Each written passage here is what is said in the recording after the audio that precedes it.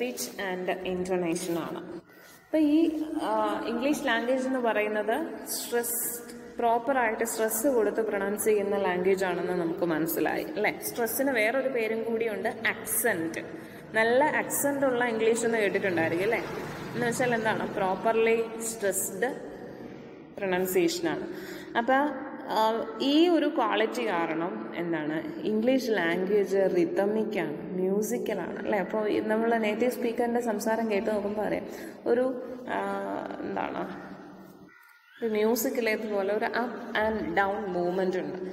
അപ്പം അതിന് മറ്റൊരു ലാംഗ്വേജ് ഫീച്ചറും കൂടി കാരണമാകുന്നുണ്ട് അതാണ് പിച്ച് ആൻഡ് ഇന്റോണേഷൻ സ്ട്രെസ് കൂടാതെ പിച്ച് ആൻഡ് ഇന്റോണേഷൻ എന്നൊരു ഫാക്ടർ കൂടി ഇംഗ്ലീഷ് ലാംഗ്വേജിന്റെ മ്യൂസിക്കാലിറ്റിക്ക് കാരണമാകുന്നുണ്ട് അതായത് നമ്മൾ പാട്ട് പാടുമ്പോൾ നമ്മുടെ വോയിസ് മോഡുലേറ്റ് ചെയ്യും അല്ലേ? അതേപോലെ തന്നെയാണ് ഇംഗ്ലീഷുകാരൻ സംസാരിക്കുമ്പോൾ തന്റെ വോയിസ് മോഡുലേറ്റ് ചെയ്യുന്നത്.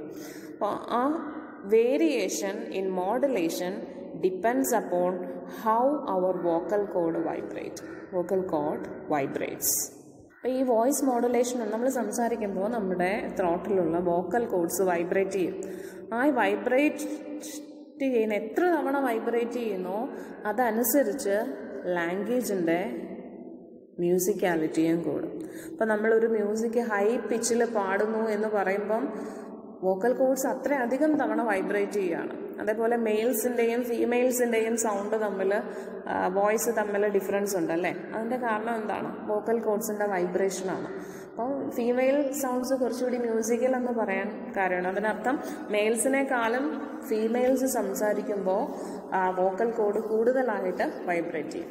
വോക്കൽ കോഡ് കൂടുതൽ വൈബ്രേറ്റ് ചെയ്താൽ നമ്മുടെ വോയിസിന്റെ ഫ്രീക്വൻസി കൂടും. ഫ്രീക്വൻസി ഓഫ് വൈബ്രേഷനെയാണ് എന്തെന്ന് പറയുന്നത്? പിച്ച് എന്ന് പറയുന്നത്. വോക്കൽ കോഡ് വൈബ്രേറ്റ് ചെയ്യുന്നതിനനുസരിച്ച് വോയിസ് ന്റെ ഫ്രീക്വൻസി കൂടുന്നതിനാണ് പിച്ച് എന്ന് പറയാം the rate at which our vocal cord vibrates or the frequency of the vibration of the vocal cord is called pitch അപ്പോൾ എല്ലായ്പ്പോഴും നമ്മൾ ഒരേ പിച്ചിലാണോ പാട്ട് പാടുക അല്ല അല്ലേ? ചിലപ്പോൾ ഹൈ പിച്ച് ആയിരിക്കും ചിലപ്പോൾ ലോ പിച്ച് ആയിരിക്കും.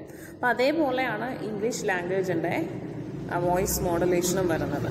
ചിലപ്പോൾ പിച്ച് റൈസ് ചെയ്യും ചിലപ്പോൾ ഫോൾ ചെയ്യും.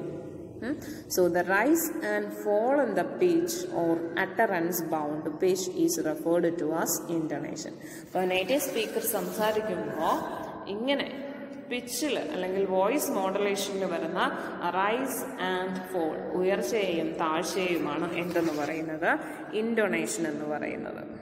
Or the variation in the level of pitch is known as intonation if the voice moves from lower to higher pitch within a single syllable it is called rising intonation And if the voice moves from higher to lower pitch within a single syllable, it is called falling intonation. അപ്പോൾ സംസാരിക്കുമ്പോൾ lower പിച്ചിൽ നിന്ന് high പിച്ചിലേക്ക് പോവുകയാണെങ്കിൽ മേളിലേക്ക് പോവല്ലേ? അത് rising ഇൻഡോണേഷൻ high പിച്ചിൽ നിന്ന് lower പിച്ചിലേക്ക് വരുവാണെങ്കിൽ lower എന്ന് പറയാൻ താഴേക്ക് വരുവാണ്. താഴേക്കുള്ള പിച്ച് അത് ഫോളിങ് ഇൻഡോണേഷൻ നിങ്ങൾക്ക് ഈ വീഡിയോ ഇഷ്ടപ്പെട്ടാൽ ഈ ചാനൽ സബ്സ്ക്രൈബ് ചെയ്യുക. പുതുതായി അപ്ലോഡ് ചെയ്യുന്ന വീഡിയോസിനെ കുറിച്ചുള്ള നോട്ടിഫിക്കേഷൻ ലഭിക്കാൻ വേണ്ടി ബെൽ ഐക്കണിൽ ക്ലിക്ക് ചെയ്യുക. നിങ്ങളുടെ അഭിപ്രായങ്ങളും നിർദ്ദേശങ്ങളും കമന്റ് ബോക്സിൽ കമന്റ് ആയി പോസ്റ്റ് ചെയ്യുക. Thanks for watching